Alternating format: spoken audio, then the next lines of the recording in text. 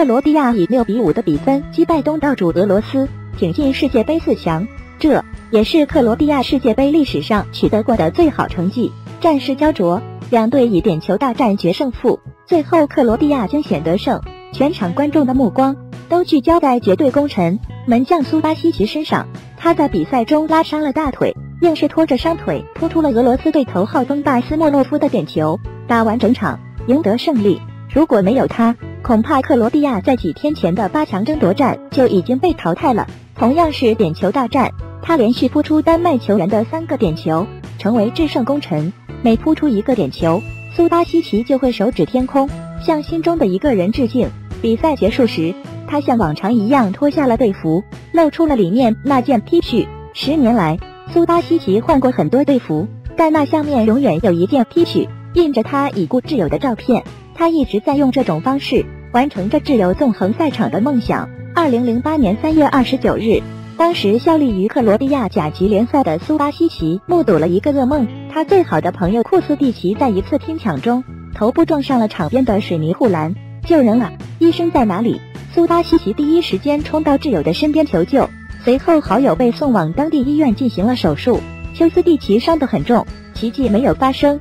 二零零八年四月三日十一点五十一分，这位克罗地亚的足坛新星离开了人世，享年二十四岁。几天前才跟自己约好要一起努力、为国争光的挚友突然离去，苏巴西奇哭成了泪人。克罗地亚甲级联赛为了丘斯蒂奇推迟了下一场联赛。苏巴西奇为挚友扶了灵柩，送了他最后一程。联赛中的所有球员都穿了一次印有丘斯蒂奇头像的 T 恤，以示悼念。然而，联赛很快继续，人们关注的焦点渐渐回到了球场。慢慢的，丘斯蒂奇被提起的次数越来越少，曾经挤满了人的零钱，只剩下他本人的肖像、几件球衣和无言的花。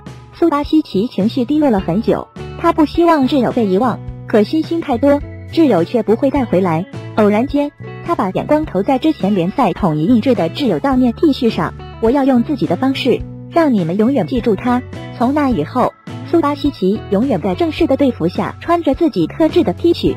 只要比赛结束，他就会脱下队服，那上面印有丘斯蒂奇的照片和他的球衣号码二十四。这一穿就是十年。我们约好了要一起拼搏，所有的荣誉有我的一半，也有你的一半。一个人背负两个人的梦想。苏巴西奇很努力，他成为克罗地亚国内联赛中数一数二的门将，颇受重视。二十八岁时，他踏出国门，来到上处法乙联赛的摩纳哥队，打拼了两个赛季，助力球队升级到法甲。年近三十的他成为摩纳哥主力，克罗地亚国家队门神丘斯蒂奇的肖像扬名世界。即使身在国外，苏巴西奇都会时常给挚友的家人发去问候，仿佛自己就是他们的孩子。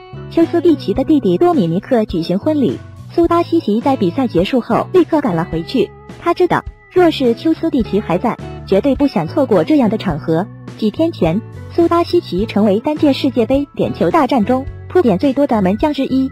他表示要把胜利献给克罗地亚人民，也献给在天堂的丘斯蒂奇。他与我们同在。今天，苏巴西奇又助力克罗地亚进入世界杯四强。挚友的 T 恤。依然见证着一切，穿着这球衣，他就仿佛还活在我们身边，从来不曾被忘记。苏巴西奇在推特上这样写道：“我会带着你走完你无法走完的路，永远爱你，永远的二十四号。”